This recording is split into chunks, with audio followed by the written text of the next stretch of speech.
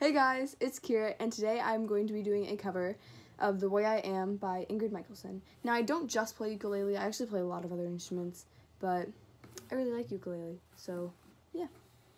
Here goes.